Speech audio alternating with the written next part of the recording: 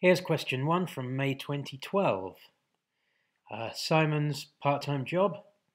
Simon works in a supermarket. His um, hourly pay is 55.35. In February, he worked for 32 hours. How much money did Simon earn in February? So that's simply 32 hours times 55.35 makes 1,771.20.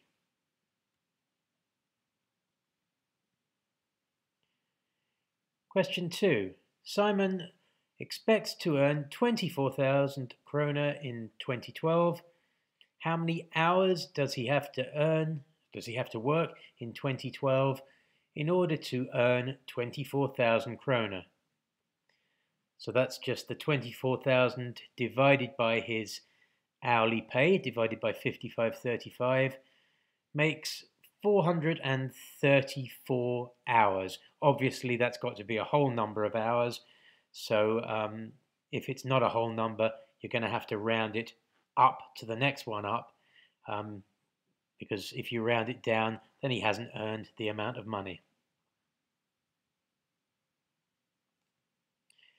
Simon has to pay 8% in deductions on his pay, um, and then he gets the rest of the pay paid out to him.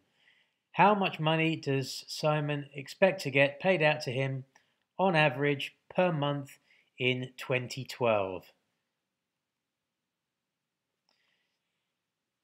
Okay, so um, his pay is 2000 before the deductions because he pays 8%, then he's left with 92%. So I've got 92% or 92 hundredths of 2000.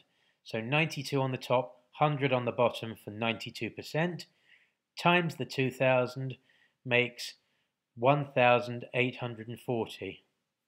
And uh, you might want to show where you got 92 from, so you might instead write it as 100 minus 8 to show where you got the 92 from.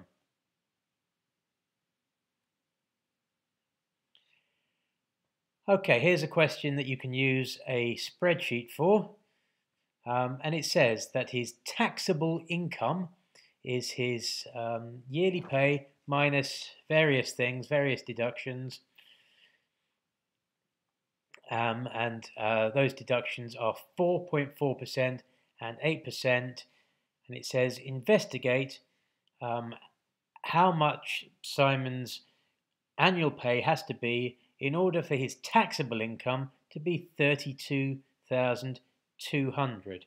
Um, and it suggests you can use uh, IT tools, obviously a spreadsheet, um, or you could do it analytically. So first of all, I'm going to look at how to do it with just the numbers and without a spreadsheet. I'm saying that what he gets is 87.6% because if you consider his original pay to be the 100% and then they take off 4.4% and another 8%, then he's left with 87.6% of what he earned. So that 80 to 87.6%, that's his taxable income. And the question wants that to be 32,200.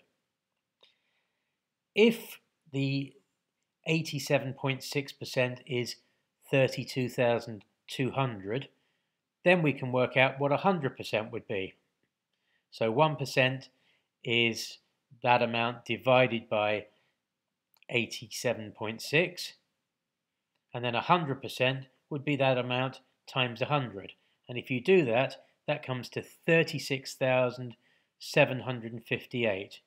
So in order for his taxable income to be 32,200, then his pay before those things were deducted has to be 36,758. So you can do it with the numbers if you're good with percentages but you can also do it with a spreadsheet. And I'm going to look at how we can do that with a spreadsheet now. So here I am in Excel. Probably want to make this uh, a little bit bigger. This is all in English, of course. I have mine in English, but um, things tend to be more or less in the same place. Also, I'm I'm on a Mac doing this, so um, it might be slightly different if you're doing it on a PC. But hopefully you'll get the idea. So I'm going to type the various things um, in the boxes as they are in the question. So uh.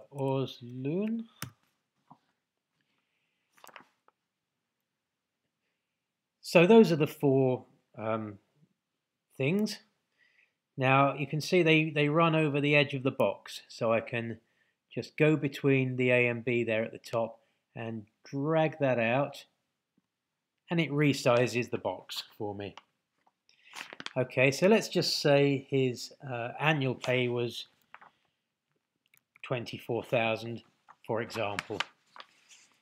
Um, then the first deduction is 4.4%. So I've, there's a couple of ways I could do this. I could say this cell here is going to equal um, that cell there, which is B1 with the 24,000 in it, and then times, that's a star sign on Excel, 4.4 and divided by, that's a slash, 100. So I can work out 4.4% that way. Or another way I can do it is to say that that cell there equals that cell, B1, times 4.4%. And if I write the percent sign, then it understands what 4.4% is, and I don't have to write the bit about dividing by 100. So either way, it gives us the right answer. The next deduction is 8% of the yearly pay. So I'll write equals and then just point at the cell, that one, which is B1, times 8%, and it works out that that's 1920, and his taxable income is, so equals that one, B1, his yearly pay, minus the deductions, minus that one, B2, and minus that one, B3. And then it works that out to be 21,024. And then the question is uh, investigate what his annual pay has to be, the top one, in order for his taxable income to be 32,200. Okay, now that we've got the formula set up, we can play about with this to change the amount he's earning, his uh, his annual pay, and see how that affects his taxable income. Because every time we change the top one, all of the others change as well because they're related to it with a formula. So if I make that 25,000, then the bottom one becomes 21,900. So we're trying to change the top one so that the bottom one becomes 32,200 as it says in the question. So let's see what happens if he's earning 40,000 then his taxable income becomes 35,000 that's and 40 that's a that's a bit higher than we want it to be. So let's try 35,000 in the top. All right that's that's too low in the bottom. Let's try 36,000 too low 37,000. Uh, that's a bit too high, so it's going to be between 36 and 37,000. Let's try 37. Now let's try 36,500. Too low. Let's try 36,600. Too low. Let's try 36,700. Too low. Let's try 36. 800, bit too high, so let's try 36,750. Bit too low, 36,760. Little bit too high. Uh, 36,755. Too low. 56. Too low. 57. Too low. 58. Bit too high. So uh, 57 and 50. Too low. Uh, try 0.6. Too low. 0.7. Too low. 0.8. Too low. 0.9. Too low. 0.95. Too low. 96 too low. 97 too low. 98 bit too low. 99 bit too low. And then we already tried 58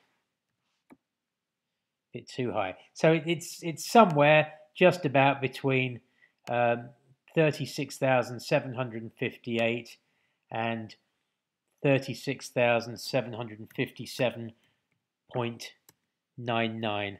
So we'll get just about as near as we're going to get by rounding that to the nearest krona. So, so the, the nearest krona, um, the nearest we get is if his annual pay is 36,758. And of course, that ties exactly in with what we worked out doing it analytically. So if you're not very good with the percentages, then the spreadsheet can be a good way of getting to the answer. But for other people, doing it an analytical way like this is much better. You see, I got to the answer much quickly, much more quickly, doing it with the maths than playing about with the spreadsheet.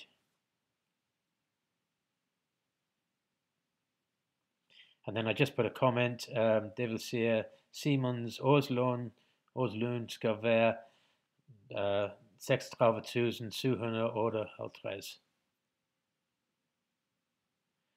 Okay, so that's my thing neatly set out. So for the last question, I, I, I wrote some workings with the analytical answer, but I could just as well have said uh, see the attached thing and submitted a printout from the spreadsheet. Those are the marks, three, three, four, four.